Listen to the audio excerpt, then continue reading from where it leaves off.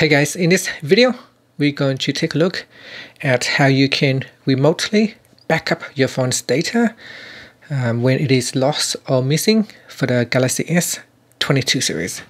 So let's say this device has been lost or missing.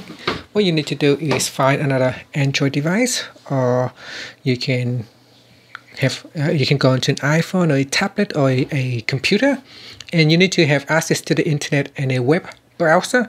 So on my Android device here, on my Google Pixel, I can open up my Chrome browser and you want to go to this website here called findmymobile.samsung.com and you need to sign in.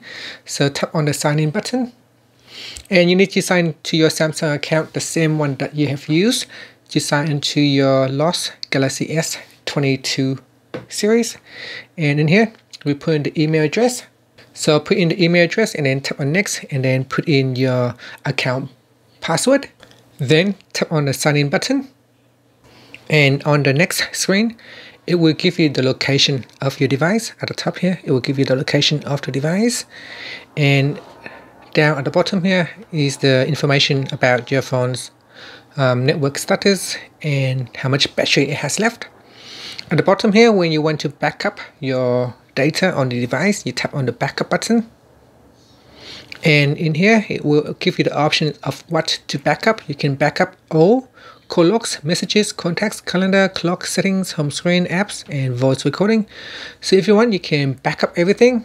So make sure everything is selected. So you can see here we've got um, calendar, contacts, gallery, uh, Samsung Internet, notes, pass, Wi-Fi.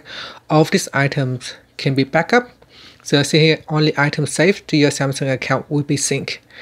And then from here, tap on the backup button at the bottom and say to backup your data, your phone will connect to a mobile network. If it isn't connected to a Wi-Fi network, the sync using Wi-Fi only option can't be used. So tap on I agree so that um, you will you are fully aware that um, your phone may use up uh, mobile data and which can cost you money if uh, the phone is not connected to a Wi-Fi then it will use mobile data. So once you agree tap on the backup button to proceed with the backup.